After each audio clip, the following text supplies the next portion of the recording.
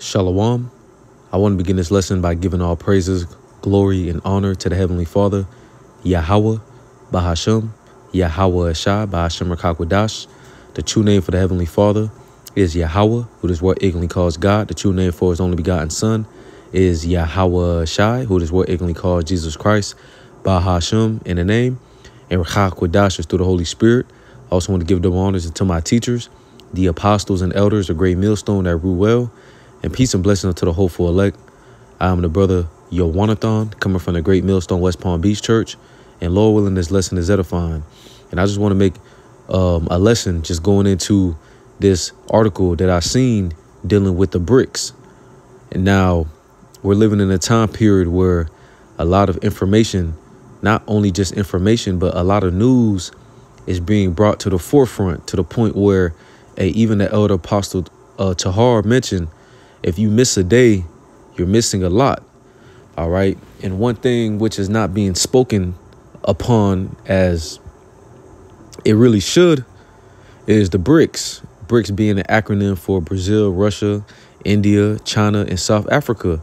All right. And uh, about a month ago, I remember making a lesson and reading an article about uh, BRICS and how they want to de dollarize or uh, the BRICS are, uh, you know, trying to de-dollarize or de-dollar de-dollarization. Okay, and I believe, and I'm not sure if this news is or if this information is accurate. Lord willing, I'm gonna fact check it. But the cost of one brick, you know, would ultimately plunge the the dollar. Okay, because the brick the BRICS currency will be backed by gold, if I'm not mistaken, or some sort of a value of, or, or, or valuable um you know something valuable behind it which is different from the dollar. All right so enough of me rambling. All right so i have the article here. And through the holy spirit this all leads to the motb and uh, motb is an acronym for the mark of the beast. All right going back to the book of Revelation, the 13th chapter and the 16th verse. So the title of the article says BRICS Pay uh, Alliance officially unveils new payment system. Okay. And it says, in what a massive moment for the economic alliance, BRICS Pay has officially been unveiled. At the BRICS Business Forum taking place in Moscow, participants received brand new cards for the long awaited payment system. Okay. Now, when you look at these cards, right, what do you see? You see the QR code. And that's how you know this is all going to, this is all linked with the charagma. All right. Because ultimately, again, when you go into that book of, when you go to the book of Revelation, the 13th chapter, and let me grab it real quick, in the 16th verse, okay, it speaks about a mark. All right. And that mark is not talking about the mark in the book of Ezekiel, the ninth chapter. All right. That mark is talking about the Wa, which is the mark of exemption. And the mark, which is in the book of Revelation, the 13th chapter and the 16th verse, when you look at it, it goes back into the Greek word uh, charagma. All right. So Revelation chapter uh, 13, verse 16, and it reads, And he caused it all both small and great, rich and poor, free and bond, to receive a mark in their right hand or in their foreheads. Okay, so that mark, again, we understand that mark, which is charagma, going into an incision inside of the flesh. Okay, Esau Edom is going to make the M um the RFID microchip mandatory upon the planet Earth. All right, well everything is going to become digital. There will be no more cash. There will no be there will not be any more credit cards, debit cards. That's going to be a way of the old. And all cash or any type of currency will be a, will be on those mark. I mean, like will be on them RFID chips. Okay. You even had Aaron Russo, which was an insider, close friends with Nick Rockefeller. And Nick Rockefeller gave that information to him, as well as William Cooper um, as well as um, you know all these dudes that speak upon these things they end up giving up the ghost or they end up you know going, you know, they end up dying. All right, so that's how you know Esau, Edom. You know, this is information that was not supposed to be revealed. All right, but the scriptures speak about how the man of sin, the son of perdition, will be revealed in the latter times. And we're in those times right now. Okay, that's why the Apostle Paul, when you go into the book of Romans, the 13th chapter and the 11th verse, and it reads, And that knowing the time, that now it is high time to awake out of sleep. For now is our salvation nearer than we believe. So, knowing the time that we're in, and even in the book of Second Ezra, the ninth chapter, it says to measure thy the time diligently in itself, man. Okay, so the hopeful elect are measuring the times. Even Yahweh Shah warned the disciples, which turned to the apostles. All right, Yahweh Shah warned them of things to come. All right, and those things to come are playing out in our face right now. So we know the time. All right. So knowing the time that now it is high time to awake out of sleep. You see? Uh Isaiah the 60th chapter, arise and shine, for thy light is come. Okay. Uh, hey, our salvation is nearer than we believe. And how do we know that?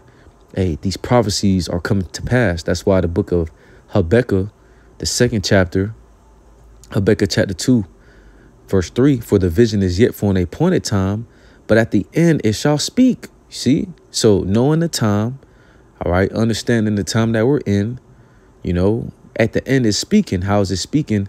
Through the prophecies. And it says, it says, For the vision is yet for an appointed time, but at the end it shall speak and not lie. Though it tarry, wait for it, because it will surely come, it will not tarry. All right. So this is why we have to stay patient upon our watch, stay patient upon the Lord. All right. Stay upon our watch, stay upon our post, continue to be watchmen, continue to be patient. All right. Because before you know it, hey, everything is going to change. All right. So, um, you know, now that again, this is, and as you can see right here, that's the card. But best believe everything will become digital. See, even on the card, it says, this is a mock-up of a bank card that can be linked in the BRICS Pay to receive a gift of 500 rubles credit to your BRICS Pay account. So mock is kind of like a precursor or more so uh it's still in development it's still in works okay now um let me see. Because I do want to get that article just dealing with the BRICS and the de-dollarization. All right because this is the main goal of these different nations teaming up with each other is ultimately to bring down Babylon. All right hey the scriptures speak about hey the weak shall say I am strong. So there was a point of time and I'm gonna grab that so there was a point of time where America, and when you think about it, you know, Babylon is still at the top concerning with the sword, meaning instruments of destruction. So America is still at the top dealing with the armies and the military. Okay, but when you look at the morality, you know, Babylon is is low. And these different nations are mad because they have drunk the wine of the whore okay, as the scriptures say. So there was a point of time where, all right, America was the top power and all the nations had no choice but to join them. All right, but we're in a time now where the weak, okay, the weak are saying that they're strong and they're teaming up with these different nations, i.e., the BRICS, okay, to come together to take down the bully. All right, Joel chapter 3, verse 10. And it says, Beat your plowshares into swords and your pruning hooks into spears. Let the weak say, I am strong. Okay. And it says, Assemble yourselves and come, all ye heathen, and gather yourselves round about. Thither cause thy mighty ones to come down, O Yahweh Shah. All right. So let me get this. Let me get this article. I brought the Zaka, find it.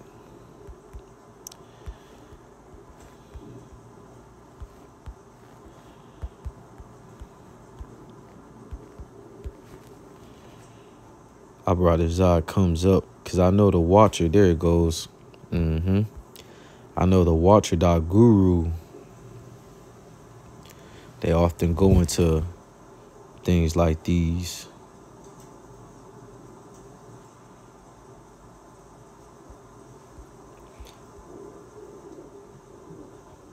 See?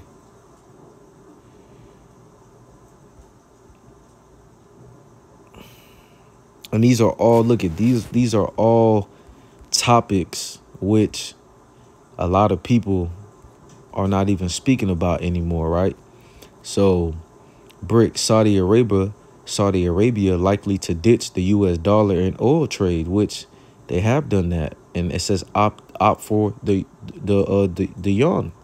And I know I'm I said it wrong. All right, but hey, China is in the BRICS. You see? BRICS to fully abandon US dollar in three years. All right, and Babylon doesn't have three years, man.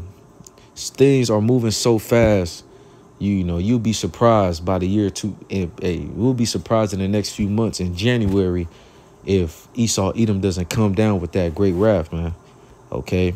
BRICS target yet another sector to eliminate the US dollar.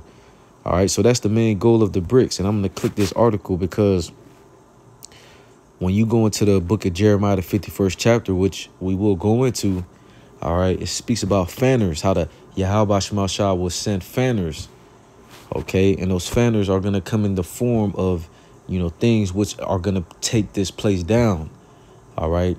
And best believe when the BRICS come into effect, you will experience hyperinflation here in America, all right? And all roads leads to the chip. And this may sound far-fetched, but again, hey, this mystery, this wisdom, knowledge, understanding has been only given into the initiated ones, man. And that's where you're going to have Ezekiel, the 33rd chapter, coming into effect. Then, then shall they know a prophet had been among them. All right. So our people really don't take this serious because it doesn't affect them. Okay. But when you go into the grocery store and a gas station, all right, and you realize the money which you work for not only is it not stable, but it's not accumulating to anything, then you're going to have questions. All right, but we understand that all these things have to come to pass. All right, Second Ezra is the fourth chapter. You know, we understand that America has to go down. We understand that all hell has to break loose, man. We have to we have we understand that many sorrows have to come in order for our kingdom be to be established, man. All right. The evil is sown is America.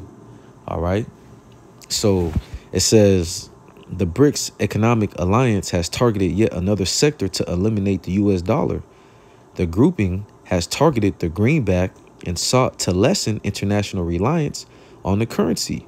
Its latest plans introduce another industry that could be massively affected by those goals. All right. So BRIC sanctions turning Chinese uh, yuan as main currency, not the U.S. dollar. So the main goal is to kind of move the dollar in America out the way. Okay, that's why you have China and Russia in cahoots. You have Saudi Arabia and China in cahoots, man. Okay, the main goal is to knock the dollar out the way. All right. Uh, let's. I'm gonna type in de-dollarization and let's see if they took down this article, man, because I made a lesson on it not too long ago, but I'm sure they probably took the article down. Okay. Oh, look at this. October 4th. Total US debt has jumped to 35.7 trillion, stressing the US dollar, right? All right. And the reason why there's so much debt, okay, is because Babylon went in cahoots with the elite banking families. Okay, America went in, into cahoots with the elite banking families, instituting the Federal Reserve, which uh, I believe was created in 1913. Okay, and if I'm wrong, let me let me fact check that real quick.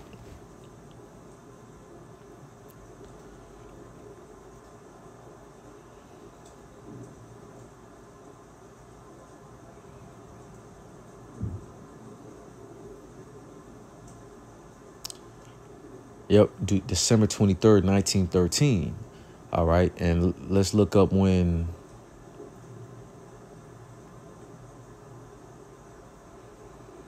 All right, and I'm trying to get to a point here. You see, because when the Federal Reserve was created, uh, well, let's let's look when Babylon ditched, when Babylon stopped having the dollar being backed by gold.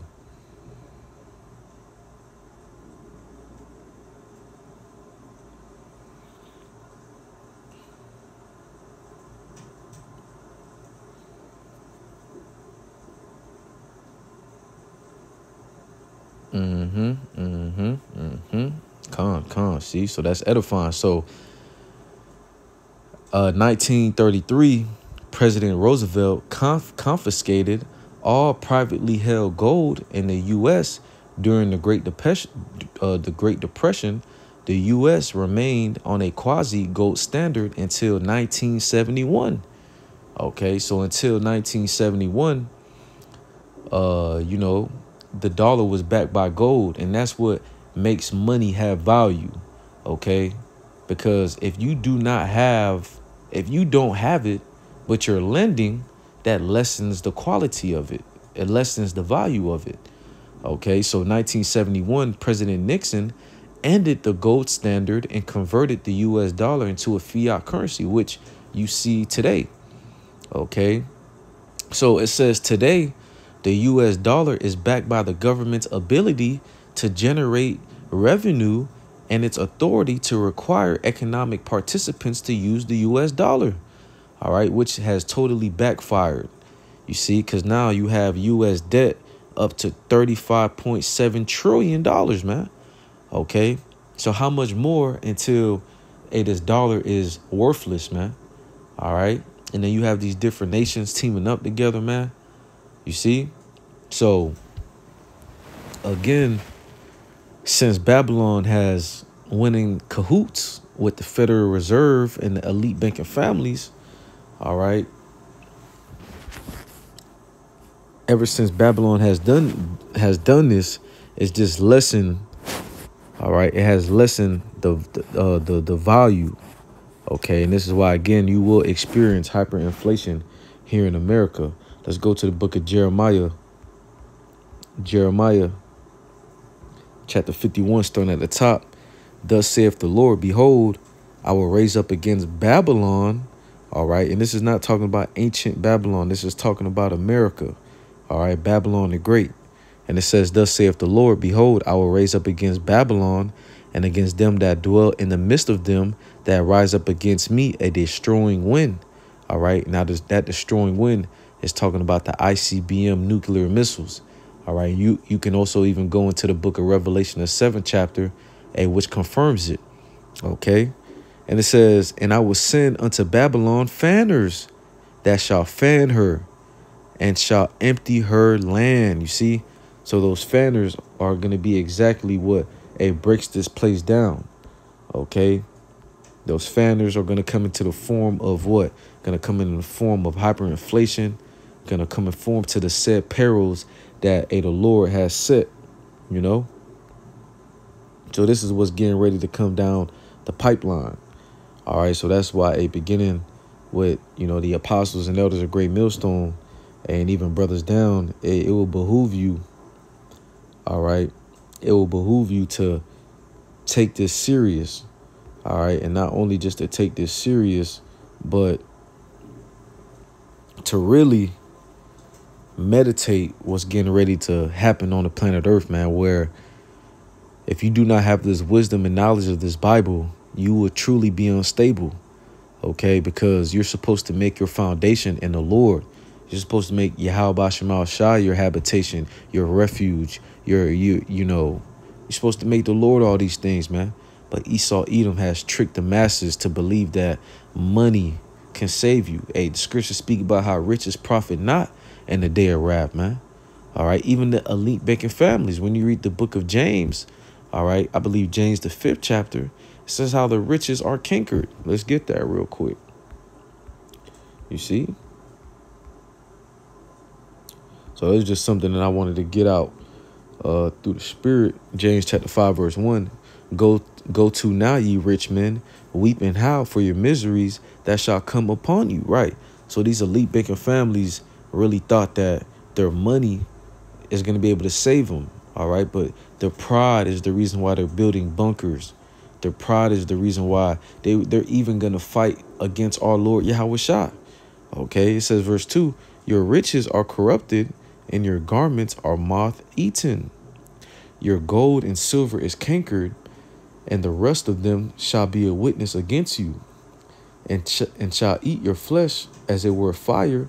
Ye have heaped treasure together for the last days. Right. So these elite banking families have so much gold, they have so much resources to the point where, you know, they can give some to to hey, they can give some to everyone and they will still have enough left. All right. But their greed, their pride, that's why you have heaped treasure together in the last days. All right. And they, hey, they will not be able to, they're not going to be able to enjoy it. Okay. Because again, this system, all right, is getting ready to come to an end. You see? So let's go into this article real quick and I'm going to close this lesson. It says the U.S. debt scenario seems to be inflating with each second, or slack, which each, it says the U.S. debt scenario seems to be inflating with each passing second. The debt statistics have ballooned like any other metric recently, adding significant stress to the already overloaded US dollar. Okay. And Abarat Azar, you can go on this website, watch.guru, and there's a lot of edifying things, man. Okay, so, you know, I'm to leave it there. Lord willing, this lesson was edifying, but the point being what? The point being is, hey, BRICS is on the move. All right. So, and this all leads to the chip. This all leads to the RFID microchip, man. The mark of the beast. So, you know, until next time, willing, this lesson, lesson is edifying, giving all praises, glory, and honor to Yahweh, Ba'ashem, Yahweh Shah, Ba'ashem Rakakudash. Double honors unto the apostles and elders of great millstone every well. Peace, blessings to the elect. Till next time, Shalom.